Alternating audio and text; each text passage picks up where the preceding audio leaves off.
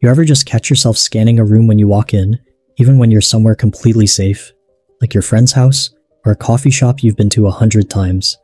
Your eyes are darting around, checking exits, noting who's sitting where, almost like you're expecting something to go wrong. Most people don't realize how exhausting this is. Your brain is running a background security program 24 7, and it's been running the same outdated software for thousands of years. Here's the wild part your brain literally thinks you're still living in a world where a rustling bush could mean death. But you're not.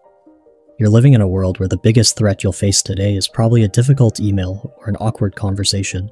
And once you understand why your brain does this, you'll never see your anxious thoughts the same way again. Let's talk about something no one teaches you in school. Your brain has a built in alarm system that's stuck in the on position. Think about it.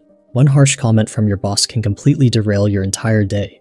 You'll replay it during lunch, on your drive home, maybe even when you're trying to fall asleep. But that genuine compliment your coworker gave you this morning, you probably forgot about it by noon.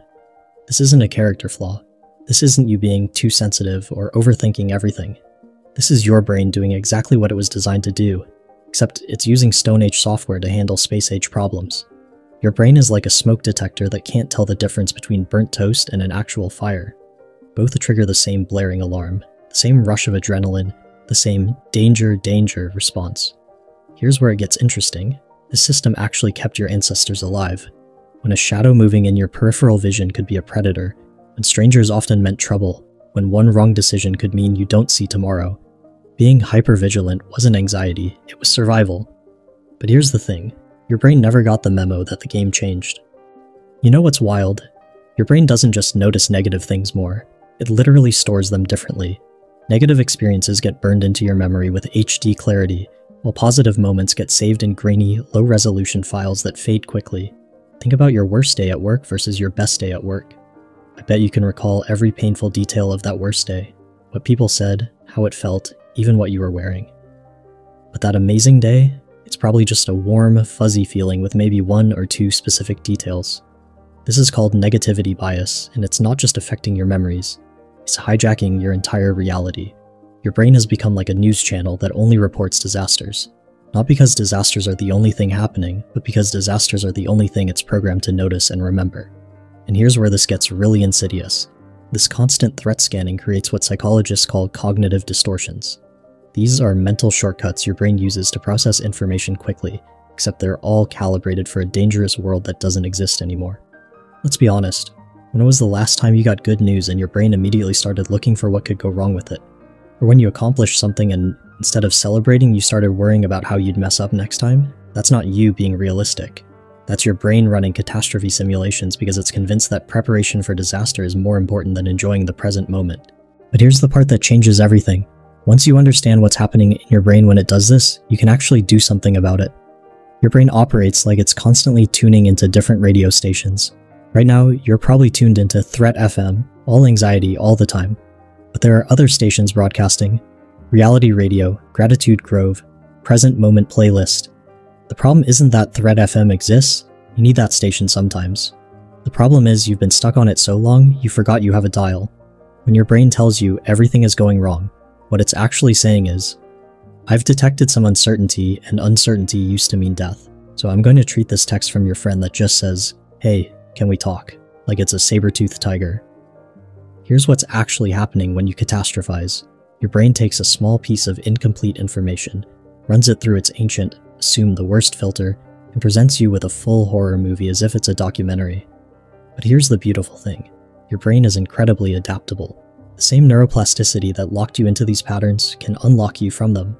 Think of your brain like a snow globe that someone keeps shaking, all those swirling thoughts and worries are just sediment that's been stirred up. When you stop shaking the globe, when you stop feeding the anxiety with more uh, what if thinking, everything settles and you can see clearly again. The goal isn't to never have another anxious thought. That's like trying to never have weather. The goal is to change your relationship with those thoughts so they don't run your life. So here's the simple shift that changes everything. Instead of asking, what if something goes wrong? Start asking, what if I'm safe right now? I know that sounds almost too simple, but stay with me. Your brain has been practicing worst case scenario thinking for so long, it's become automatic. But what if you practice best case scenario thinking, or even just realistic case scenario thinking? Here's a technique that comes straight from cognitive behavioral therapy, and you can start using it today. When you catch yourself in a spiral, and the key word there is catch, pause and ask yourself three questions. First, what evidence do I actually have that this terrible thing will happen? Not feelings, not hunches, not I just know, actual evidence. Second, what evidence do I have that everything might actually be fine? Force your brain to look for data it's been ignoring. Third, what would I tell a good friend who was having this exact same worry? We're often much kinder and more rational when we're helping others than when we're trapped in our own heads. But here's where it gets really powerful. You don't just want to challenge the thoughts, you want to teach your brain what safety feels like in your body. Your brain doesn't just think you're in danger, it feels like you're in danger. Your heart races, your breathing gets shallow, your muscles tense up. You're having a physical response to an imaginary threat. So you need to send your brain physical evidence that you're safe. Deep, slow breathing, relaxing your shoulders, unclenching your jaw. You're literally teaching your nervous system, hey, we're okay. Look, we can breathe deeply, we can relax our muscles, we're not running from predators. This isn't just feel good advice, this is rewiring your brain's threat detection system at the neurological level. Here's what becomes possible when you start teaching your brain that you're safe. Instead of waking up already braced for impact, you wake up curious about what the day might bring. That's not toxic positivity, that's just not assuming disaster is inevitable. When someone doesn't text you back immediately, instead of creating 17 different scenarios where they hate you, you just wait for them to text you back. Because most of the time, people are just busy.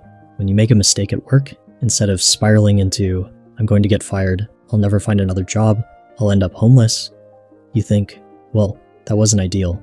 What can I learn from this, and how do I prevent it next time? You start noticing things you've been missing, like how your coffee tastes, how the sunlight looks coming through your window, how good it feels when your pet is happy to see you. These aren't small things. These are the moments that actually make up most of your life, but your threat scanning brain has been too busy to notice them. One feels like constantly carrying a heavy backpack filled with imaginary emergencies. The other feels like setting that backpack down and realizing you don't need to carry it everywhere. Your relationships change too. When you're not constantly scanning for signs that people are upset with you or planning to leave, you can actually be present with them you can enjoy their company instead of performing for their approval. And here's something beautiful that happens. When you stop radiating that anxious energy, people actually want to be around you more. Anxiety is contagious, but so is calm. You're allowed to retrain your brain. You don't have to accept, I'm just an anxious person as your permanent identity. Here's how to start teaching your brain that you're safe. Every morning, before you check your phone, before you start the day's worry marathon, spend two minutes taking inventory of what's actually fine right now. Not what might go wrong later, but what's actually okay in this moment. Your breath is working. You have a roof over your head. Your heart is beating. Start there. Throughout the day, when you catch your brain fortune telling or catastrophizing, try this. Thank you, brain, for trying to protect me. I see that you're worried about specific thing. Let's check the actual facts here. You're not dismissing your brain, you're redirecting it. Like a parent with a child who's afraid of monsters under the bed. You don't say, don't be ridiculous, you say, I understand you're scared. Let's look under the bed together and see what's really there. Before bed, instead of reviewing everything that went wrong or could go wrong tomorrow, review three things that went right today. They don't have to be big things. Your lunch tasted good. Someone smiled at you. You made it through another day. You're training your brain to notice that most of life is actually pretty okay. And here's the advanced technique. Start practicing gratitude for boring normal moments. Your brain thinks normal is dangerous because normal used to be rare, but normal is actually the goal. Normal means no one's chasing you. Normal means you're safe. If you've been feeling like you're broken for thinking this way, you're not broken. You're just human with a really good alarm system that needs some updated software. Just because something is familiar doesn't mean it's healthy. Anxiety might feel normal to you because you've lived with it so long, but comfortable and healthy are two different things. You're not weak for wanting to feel peaceful. You're not naive for wanting to enjoy your life without constant dread. These aren't unrealistic expectations. This is how your nervous system is supposed to function when it's not stuck in survival mode. Here's the permission you've been waiting for. You don't have to be ready for every possible disaster. You don't have to have a plan for every worst case scenario. You don't have to carry the weight of every imaginary future problem. You can trust that you'll handle things as they come up, because you've been handling things your whole life. Not perfectly, but adequately. And adequate is actually pretty amazing when you think about it. Your brain has been trying so hard to protect you that it's been protecting you from your own life. It's time to gently let it know. Thank you for caring so much about keeping me safe. Now let me show you what safe actually looks like. Real peace doesn't come from having all the answers or controlling every outcome.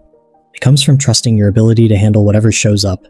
and spending most of your mental energy in the present moment instead of in imaginary futures. Your brain thinks you're still in danger, but you can teach it you're safe. Not through positive thinking or pretending problems don't exist, but through evidence.